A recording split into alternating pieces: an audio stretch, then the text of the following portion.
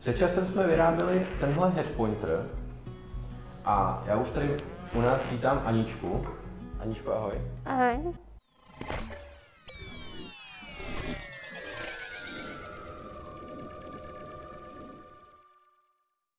Prozrať nám prosím tě, co to je a k čemu to slouží.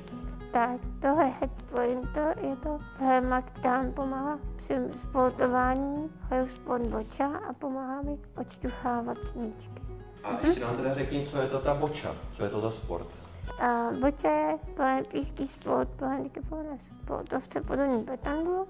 A my sportovci, co máme nejtěžší postižení, tak vlastně hrajeme boču pomocí té rampy míčků, kdy máme ještě asistenta, my tomu asistentovi řekneme, kam má rampu otočit, jaký má vzít míček a na jakou tu úroveň rampy ho má dát. Ale od mm, poslední vlastně dotek kontakt s tím míčkem musíme mít my sportov, sportovci a proto jsem byl, byl i headpoint, abych mohl odšťuchávat sama míč kdy mám vlastně na hlavě tu přilbu a jízdou dopředu a dozadu ten míček odštouchnu. Mm-hmm.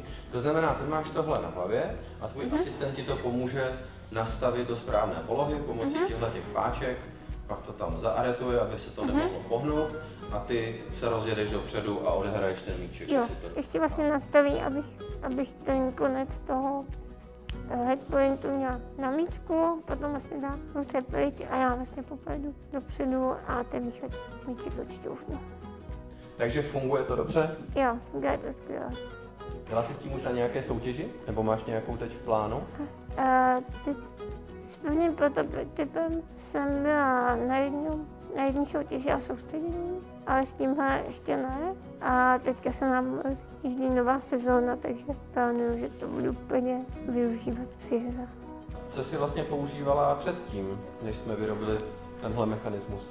A předtím jsem měla vlastně v puse bambusovou tyčku, ale měli jsme tam potom problém, když jsme hráli uh, dlouho, tak um, už to bylo jako problematické. No Anička, já ti děkuji za návštěvu a doufám, že se ti bude dařit. Přeju ti hodně sportovních a jiných úspěchů. No, taky děkuji.